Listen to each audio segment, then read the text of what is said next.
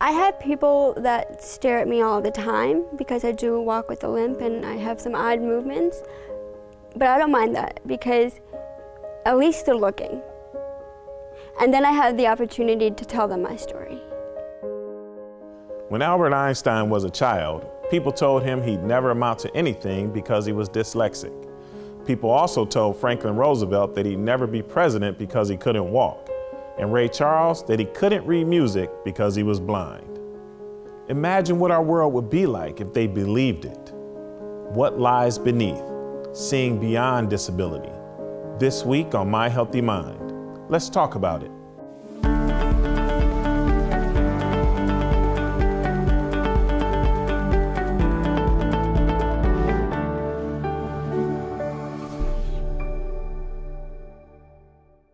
Welcome to My Healthy Mind. I'm Michael Hunter. Marina Morris was a Russian orphan who was born with cerebral palsy and brought to the United States at the age of six. Marina does not think of herself as disabled. She's never thought of herself as disabled. That's mostly because she was brought up by parents who didn't see her as disabled and who would not allow her to see herself that way. It made all the difference. Today, my colleague Elizabeth Atkins talks with this remarkable young woman. Marina, welcome to My Healthy Mind. Thank you. I'm very, very happy to be here. We're glad to have you. So, you're a college grad, a business professional, a public speaker, and an accomplished golfer. And by the way, you have cerebral palsy. Tell us who you are. Who I am. Mm-hmm. Okay. Um, so, I am a scholar. I graduated Adrian College in 2014. I also paint as well. I am, like I said, I'm a wife. I am um, a business professional. So, Marina, in describing all these wonderful things that you do, you never mentioned cerebral palsy. I would never do that because although it's a part of who I am, it's not who I am by any stretch of the imagination. So let's start from the beginning. Tell us about your background. I was born in Russia, and I was adopted from Russia when I was five years old, and then later I was diagnosed with cerebral palsy. So tell us what is cerebral palsy? What causes it? What are the characteristics of it? Yeah. So cerebral palsy is a neuromuscular disorder which causes a variety of different symptoms and like autism it ranges. Mm -hmm. So you have people with mild CP and then you have people with very chronic CP. The kind that I have is called dystonic hemiplegia, which means that it affects my right side of the body. Um, my hand shake and I do walk with a limp. So this is my hand, this is my right hand. It's always in that position going that way. This is me controlling it with my mind and to, to make sure I don't shake more. But if I stop controlling it, this is what it does. And it'll turn off when I'm sleeping and stuff and all that, but uh, this is what it does on a normal basis and then I also walk with a limp. Some people with CP though are, they're in wheelchairs. They have things called laryngeal spasms, so it's very difficult for them to talk. Um, their muscles are more, you know, like this, and it's difficult for them to use their hands or to use their feet or to use any part of the body. Um, is it permanent? It is. You're born with it. It happens at birth.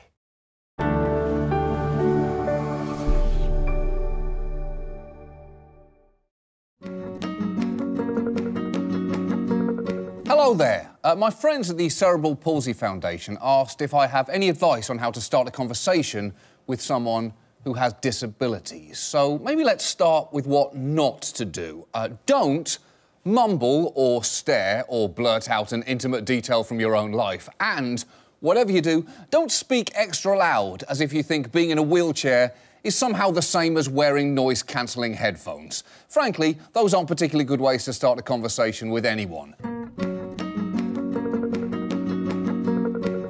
Essentially, the best thing to do is just say hi and then go from there.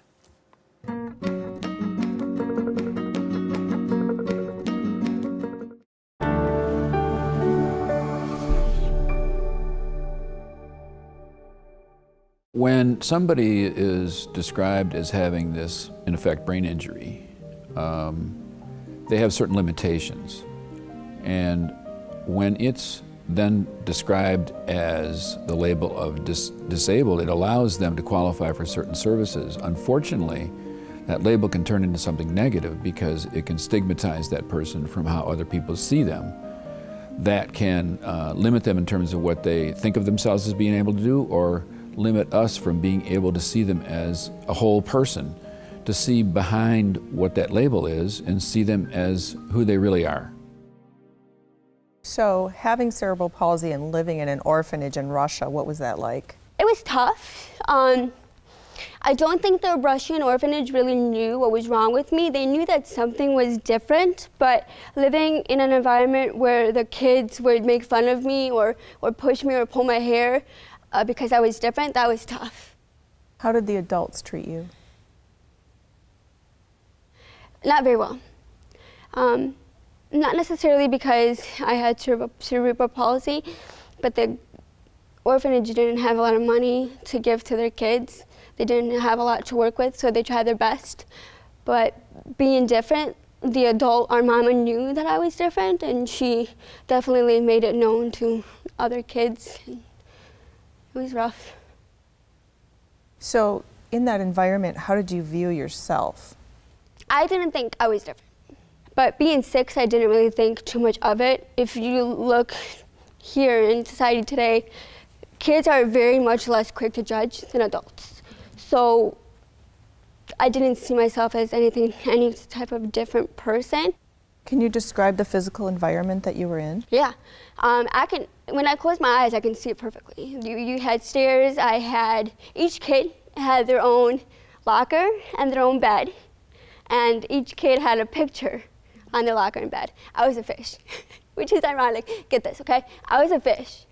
My name is Marina, which means the sea in Russian, and it's a place where I park boats in America. So it's, it's perfect. I was a fish. So we weren't really known for our names. They kind of just knew us by the animal that we were associated with, which, again, I didn't know the difference. You know, living in a very tight orphanage, I didn't know anything about the outside. I didn't know what life was supposed to be like. I didn't know what a mom and dad was. I thought this was my normal. It was my normal. I didn't know anything else.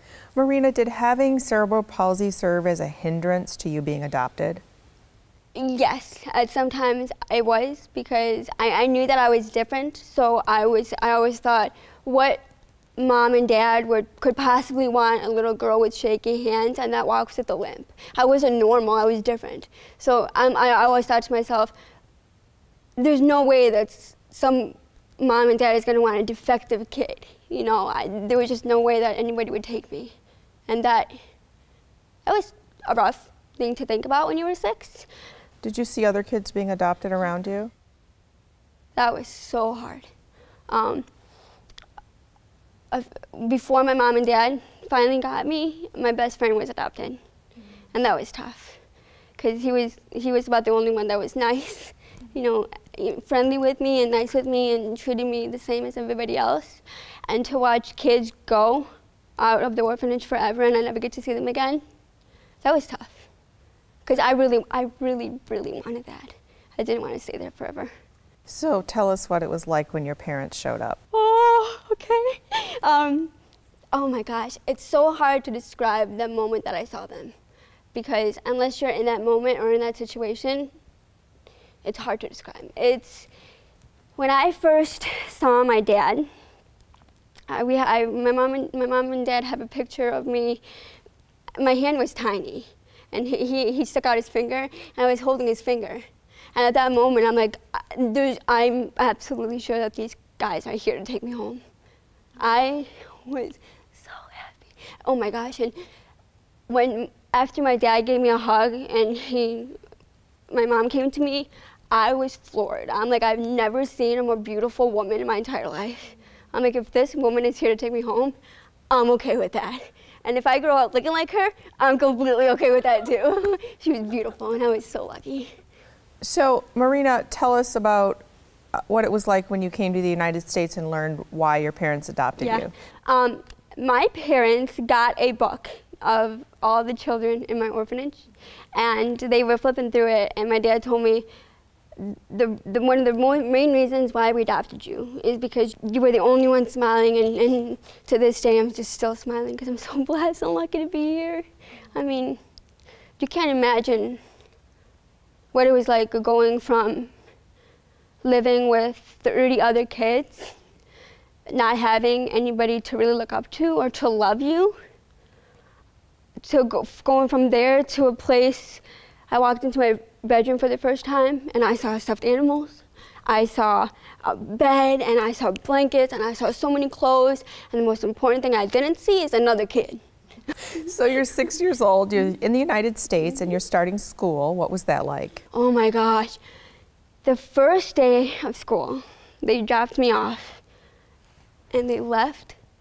I thought they left me for good. Because mind you, I come from an orphanage with 30 other kids in a building. They dropped me off in a building with 30 other kids. And I thought to myself, this is it. I'm too, I'm too much of a bad girl. There's no way they're going to come back. And this went on for a good couple of weeks until I realized, okay, I'm here to stay. They had to reassure me. And I didn't speak very good English at the time. So for them to communicate that with me was pretty rough. But eventually I'm like, okay, they'll be back. I hope they'll be back. So that was rough, but. And how did you feel amongst the children? How were you treated? Were you bullied, no. teased? No. I was not in America, no. Um, they knew that I was different. Um, but they didn't they didn't treat me any differently than any of the other kids. I could play, I could play on the monkey bars, I played on the swings, I took naps with them, I played Legos and everything else. I could do everything they did, but I just did it in a different way. So there wasn't much of a struggle between them seeing me for something other than my cerebral palsy. They just didn't know, it. they didn't care. I was a kid just like them, and I wanted to play with them. So they didn't care. So Marina, it sounds like your parents were extremely supportive. Can you tell us about your mom's personality, your dad's personality, and how they encouraged you? Yeah, absolutely. I'll start with my dad. My dad was the very compassionate dad. He said, you know, he always made sure that things were okay for me, and if I was, if I would go to him crying and say, this person made fun of me, he would make me feel better. He was compassionate. If I didn't want to do something, he's like, okay, that's fine, we'll try later. My mom is the kind of mother that says, just because you failed this time doesn't mean you're always going to fail. Get up and do it again. You know, she, she's strong like that. She has a very strong personality. And she expected a lot out of me because I was her child. And I wanted to give her a lot because I was her child. She's very accomplished, very, very accomplished. And I wanted to be like her. And very early on, they advocated for yeah. you. Tell me about art class. Um, when I was in the second grade, the last period of every day was art class. And I remember I thought this was normal. I sat in the hallway, um, and the reason I did so was because when they would be cutting paper, I couldn't really use scissors to cut a straight line, so I would have to sit in the hallway until our class was over. The moment that my mom found out about that, she came to school to pick me up, and she said, why are you in the hallway? What did you do?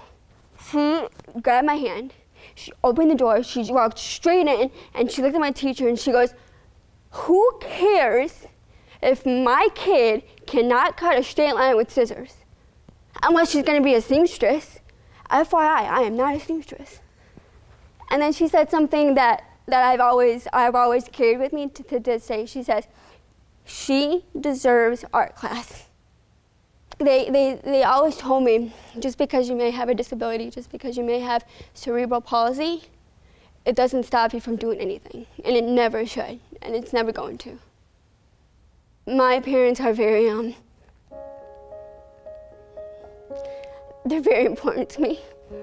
They really um, instilled a sense of confidence in me. And I, I, I know for a fact that I would not be where I am today if they weren't the ones who picked me up.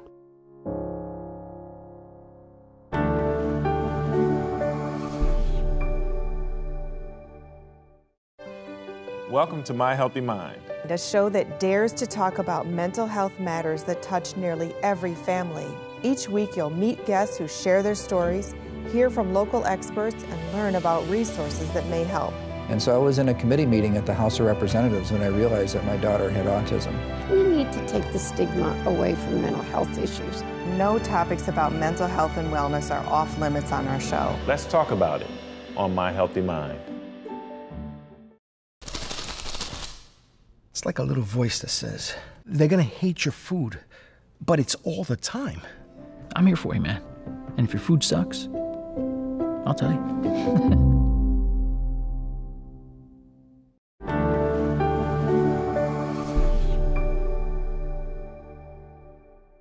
So when it comes to somebody who's been described as disabled, people don't seem to understand that that doesn't keep them from being able to be very productive citizens.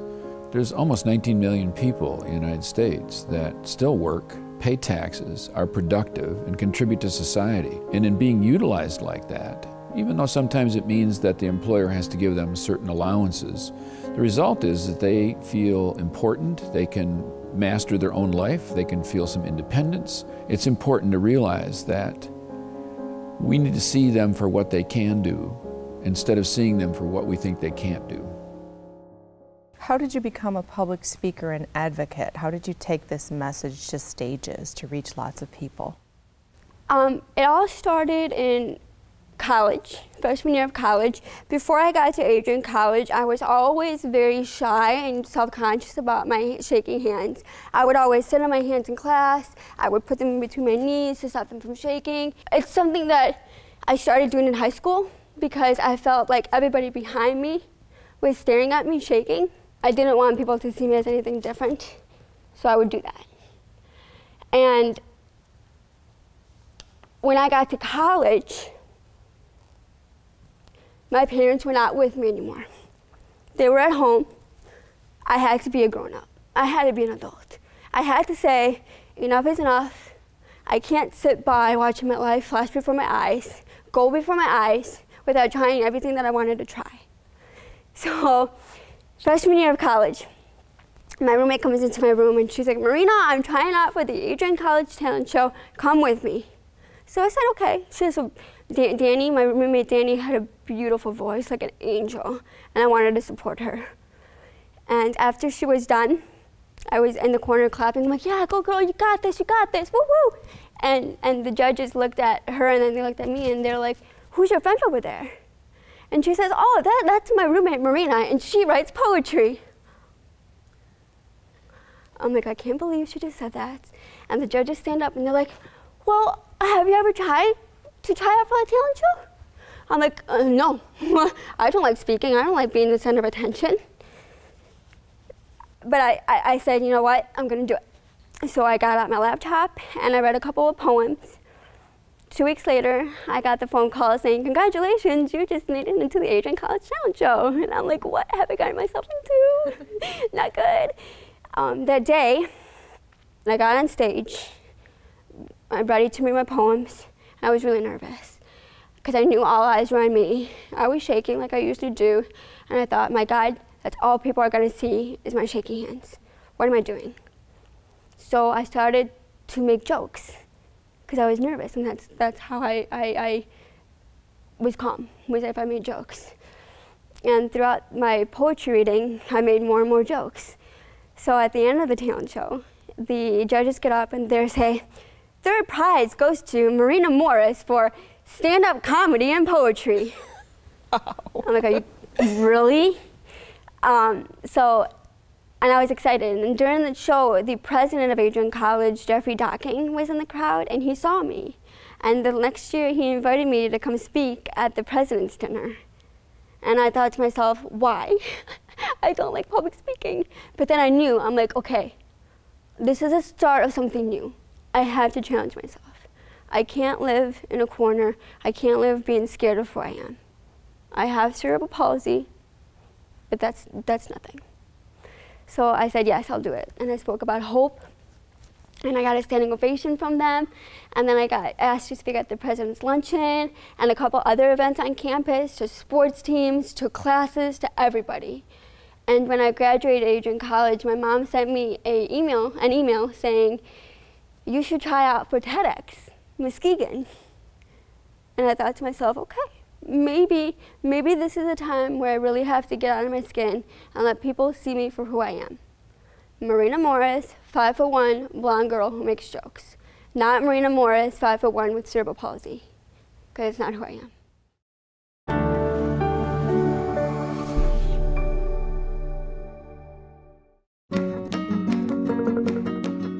The Cerebral Palsy Foundation knows that I have CP, so they asked me if there are ways particularly that I like that people start conversations with me. There are a couple. Uh, one is, hey, I've seen some of the games that you do. You do a great job. Uh, another is, wow, you're hot in person.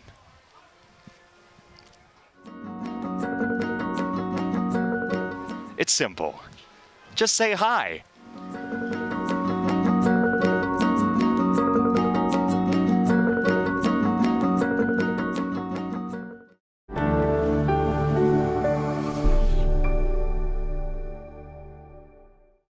Stories are so powerful. People can relate to you. You want that. The day that I stood up on that stage freshman year of college doing the talent show was the day that changed my entire life. Sometimes you just gotta, you just gotta say yes to opportunities that come your way.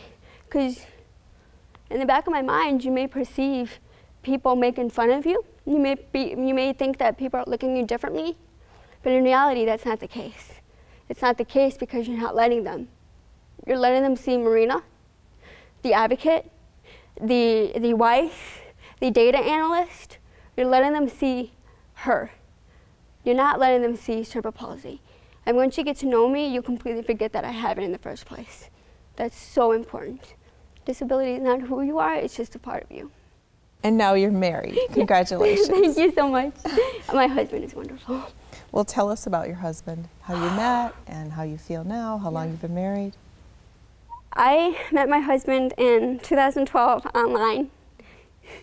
Uh, I posted a picture of me in pigtails, and I captioned it saying, I look like I'm 12.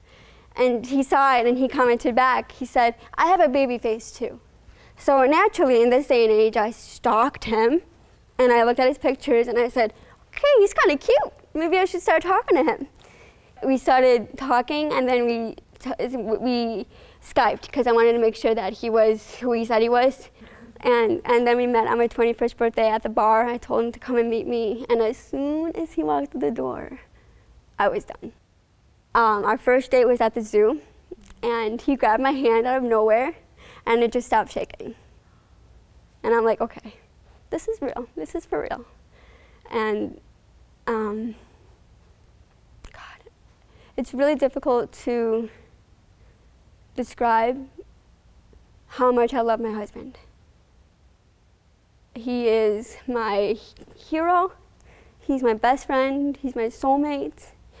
He's been there for me through everything that life has to give. And not once, not once did he ever see me as a girl with cerebral palsy. He just saw Marina. And I just fell in love with him immediately. So you are the complete whole package. You are a rock star. Thank you.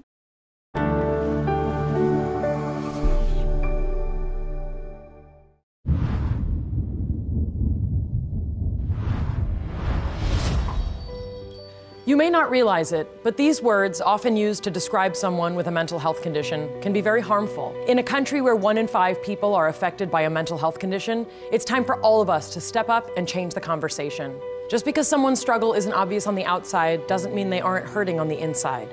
We need to see the person, not the condition. Join with me, pledge to be stigma free. Welcome to My Healthy Mind, a show that dares to talk about mental health matters that touch nearly every family. Each week, you'll meet guests who share their stories, hear from local experts, and learn about resources that may help. And so I was in a committee meeting at the House of Representatives when I realized that my daughter had autism. We need to take the stigma away from mental health issues.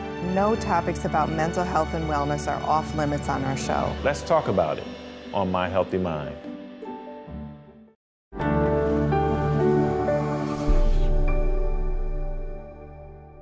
So the question is, how do you get to what lies beneath? Well, first you have to look beyond the surface to the whole person. It is important to learn about the condition and any actual limitations in order to figure out ways to work around them, if possible. We can all afford to be kind, to make some allowances and accommodations. We all need to set an example to create an inclusive environment, a positive can do culture. We need to educate and to advocate, to talk about what these conditions are and what's possible, to talk to people with physical and mental limitations with understanding, with compassion, and without fear. It's up to all of us to break the ice. Most of all, do not permit or tolerate any display of disrespect, period. Tell me, what message do you have for people who are watching you today and might have a disability? I want them to look in the mirror and I want them to see themselves without that disability. Everybody watching this show right now, if you have a disability, any type of disability, remember that it's not who you are, it's just a part of who you are. And the moment you say to yourself, I'm more than that, I can't tell you how much your life is going to change. It's going to change drastically and in a good way, in a very good way.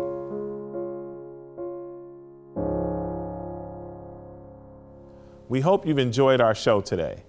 I like to say what a privilege it's been for all of us here at My Healthy Mind to meet this amazing young woman, Marina Morris, with her upbeat personality and her inspiring story. If you'd like to talk or read more about seeing beyond disability or any mental health issue, please reach out to us on our website, myhealthymind.com, through Twitter at myhealthymind or on Facebook. Thank you for watching. We'll see you next week for another edition of My Healthy Mind. Let's talk about it. And now we'll leave you with My Healthy Minute. My Healthy Minute, covering breaking mental health news, legislation, discoveries, and resources. The Chronic Illness Awareness Coalition is a 30-year-old nonprofit organization made up of men and women from around the healthcare industry. We're working together to improve the quality of life for those affected with both physical and mental health issues. We do this through education and advocacy. We educate the local community through seminars, which we hold in it, talking about physical and mental health issues that range from mild to severe. We talk to healthcare professionals primarily through our membership meetings that are six times a year. We have a speaker come in and they'll talk about things such as best practices or innovations in technology and healthcare. This allows us to bring that information back to our organizations and clinics to have better patient interaction, uh, better patient outcomes. And we do advocacy by talking to local legislators, letting them know if we feel a law or a ruling is going to negatively impact a person with a chronic illness. We want people to know that over 45% of the population is affected with some sort of a chronic illness. And the more severe that chronic illness, the more difficult it is to find prescription medication, a specialist, or someone that takes your health insurance. So join us in help advocating for people with chronic illnesses and disabilities.